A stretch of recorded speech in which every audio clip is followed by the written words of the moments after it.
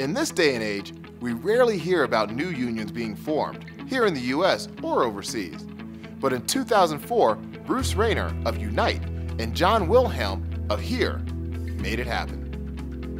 In 2003, Bruce Raynor, president of Unite, the Union of Needle Trades, Industrial, and Textile Employees, and John W. Wilhelm, president of HERE, the Hotel Employees and Restaurant Employees Union, became close friends after meeting on a picket line. The union was formed in 2004 by the merger of Unite and HERE and affiliated with the AFL CIO. The motivation for the merger was that Unite was wealthy but losing a significant number of members, while HERE had little cash but had a large number of organizing opportunities which could lead to hundreds of thousands of new members. The merged entity had 440,000 active members and about 400,000 retired members in both the United States and Canada. Raynor was elected general president of the merged union, and Wilhelm was named president of the merged union's hospitality division but the two men shared executive, budgetary, and personnel duties.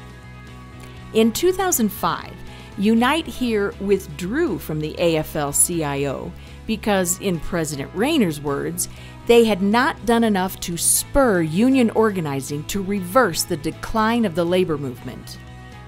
Unite Here then joined the Change to Win Federation, along with several other unions, including the Teamsters, Service Employees International Union, and the UFCW.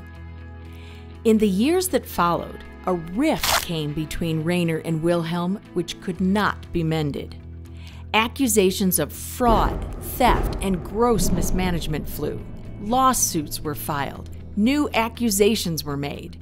Four years later, in May 2009, Union President Bruce Raynor left Unite Here taking with him numerous Unite Here locals, numbering almost 150,000 members, mostly garment workers. They formed a new SEIU affiliate called Workers United. On September 17, 2009, after months of negotiations, the AFL CIO and Unite Here came to an agreement and announced that the Unite Here union would re-affiliate with the AFL CIO. Today, Unite Here boasts a membership of roughly 300,000 active members.